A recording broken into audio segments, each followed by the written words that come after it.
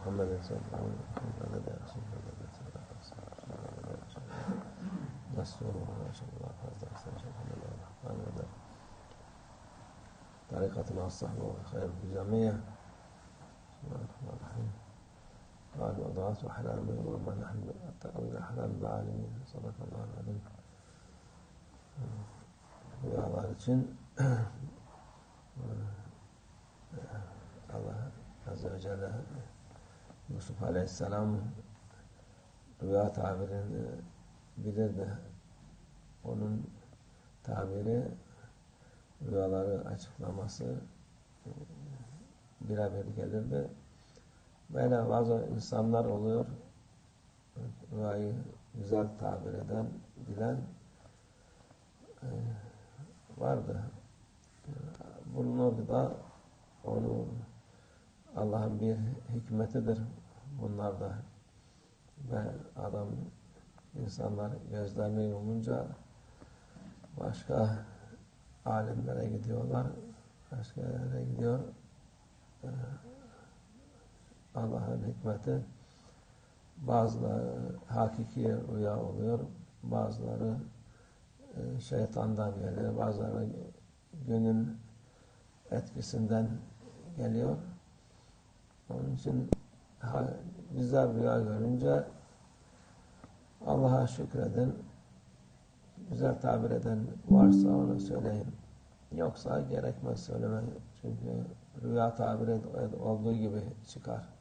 Yani Yusuf Aleyhisselam'ın o rüyayı anlatan birisi hakiki rüya anlatmış, birisi kafasından uydurup söylemiş. O kafasından uydurup söylediği rüya onun e, helakına vesile olmuş.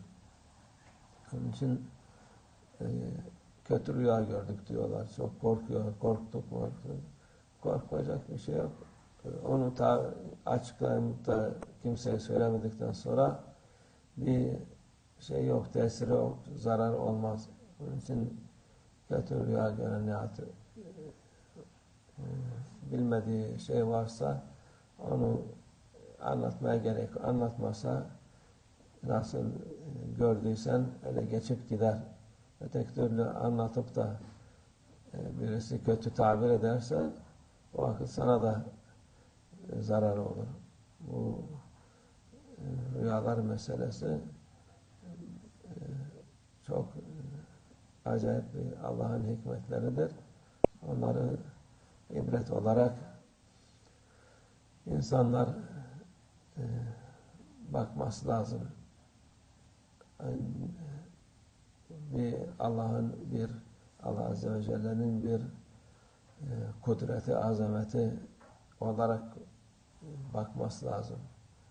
E, bu bizim koca hayat da öyle bazen rüya gibi yüz sene yaşasan da rüya gibi gelip geçer. Onun için rüyalar e, mühimdir. E, bu da yapacaklar, yapacağınız iş de mühimdir. Dediğimiz gibi kötü rüyaya ehemmiyet vermeyip o, e, kötü rüya görünce e, Allah'a sığınacaksınız. Allah'tan e, tövbe istiğfar edip de geçer o hiç bir tesiri olmaz Allah'ın izniyle.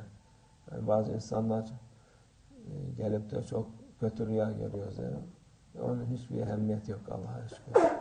Her rüyanın e, çıkacak diye bir şey yok ama dediğimiz gibi tabir edecek insan kötüyü de söylemeyin, onu da söylemeyin. Kötü rüya tabir edecek olsa bile ona söylemeyin. Allah e, hayırlı, e, hikmetli hayat versin bize. Hikmetini, Allah'ın hikmetini e, takdir edip yani, tabi onu e, hayra yormak lazım. Allah hayırlı uzun ömürler versin. E, Allah muhafaza etsin şerlerden, kötülüklerden, fitne fesattan Allah hepimizi muhafaza etsin. Onunla Allah tevfik. El Fatiha.